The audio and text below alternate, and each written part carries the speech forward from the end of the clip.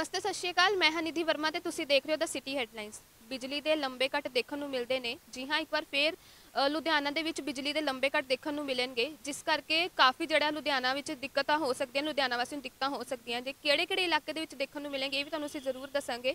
ਤੋ ਇਸ ਤੋਂ ਪਹਿਲਾਂ ਜਿਹੜੇ ਬਿਜਲੀ ਦੇ ਕੰਮ ਹੋਣੇ ਕਰਨੇ ਨੇ ਉਹ ਪਹਿਲੇ ਹੀ ਤੁਸੀਂ ਕਰ ਲਿਓ। ਅਸੀਂ ਤੁਹਾਨੂੰ ਜਿਹੜੇ ਇਲਾਕੇ ਨੇ ਉਹ ਵੀ ਤੁਹਾਨੂੰ ਜ਼ਰੂਰ ਦੱਸਾਂਗੇ ਜਿਸ ਨਾਲ ਤੁਹਾਡਾ ਕੰਮ ਵੀ ਸੌਖਾ ਹੋਵੇ। ਤੇ ਦੇਖਿਆ ਜਾਂਦਾ ਹੈ ਕਿ ਪੀਰੀਓਡੀਕਲ ਟੈਸਟਿੰਗ ਕਰਕੇ ਯਾਨੀ ਕਿ ਸਮੇਂ-ਸਮੇਂ ਤੇ ਜਿਹੜੇ ਟੈਸਟ ਕੀਤੇ ਜਾਂਦੇ ਨੇ ਬਿਜਲੀ ਦੇ ਉਹਦੇ ਕਰਕੇ ਬਿਜਲੀ ਦੇ ਲੰਬੇ ਕੱਟ ਦੇਖਣ ਨੂੰ ਮਿਲ ਸਕਦੇ ਨੇ।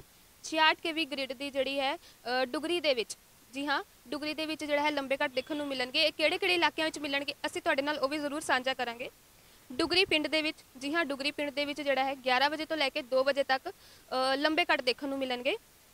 ਤੇ ਭਾਈ ਹਿੰਮਤ ਨਗਰ, ਬਾਬਾ ਦੀਪ ਸਿੰਘ ਨਗਰ ਤੇ ਇਸ ਦੇ ਨਾਲ ਹੀ ਇਹ ਇੱਟਾਂ ਵਾਲੀ ਰੋਡ ਤੇ ਸਾਰਾ ਇਲਾਕਾ। ਜੀ ਹਾਂ, ਇੱਟਾਂ ਵਾਲੀ ਰੋਡ ਦੇ ਜਿੰਨੇ ਵੀ ਇਲਾਕੇ ਨੇ, ਉੱਥੇ 2 ਵਜੇ ਤੋਂ 11 ਵਜੇ ਤੋਂ 11 ਵਜੇ ਤੋਂ ਲੈ ਕੇ 2 ਵਜੇ ਤੱਕ ਜਿਹੜਾ ਹੈ ਬਿਜਲੀ ਦੇ ਲੰਬੇ ਕੱਟ ਦੇਖਣ ਨੂੰ ਮਿਲਣਗੇ।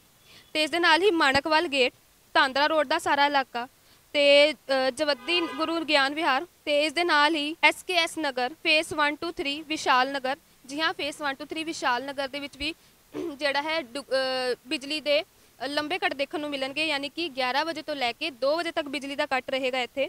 ਤੇ ਵਿਸ਼ਾਲ ਨਗਰ, ਪੱਖੋਵਾਲ ਰੋਡ ਐਸਬੀਐਸ ਨਗਰ ਸਾਰਾ ਐਸਬੀਐਸ ਨਗਰ ਦੇ ਵਿੱਚ ਵੀ ਸਾਰੇ ਇਲਾਕੇ ਦੇ ਵਿੱਚ ਜਿਹੜਾ ਬਿਜਲੀ ਦਾ ਕੱਟ ਰਹੇਗਾ। New- new BR BRS Nagar, Vasant city.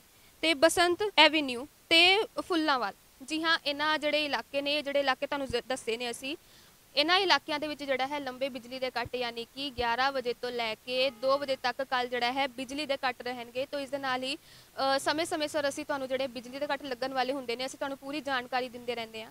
ਤੇ ਤਾਂ ਕਿ ਜਿਹੜਾ ਹੈ ਤੁਹਾਨੂੰ ਦਿੱਕਤਾਂ ਨਾ ਹੋਣ। ਇਸ ਦੇ ਨਾਲ ਮੈਂ ਨਿਧੀ ਵਰਮਾ, ਤੁਹਾਡੇ ਤੋਂ ਲਵਾਂਗੀ ਇਜਾਜ਼ਤ ਤੇ ਹੋਰ ਅਪਡੇਟਸ ਲਈ ਦੇਖਦੇ ਰਹੋ, ਦਾ ਸਿਟੀ ਹੈਡਲਾਈਨਸ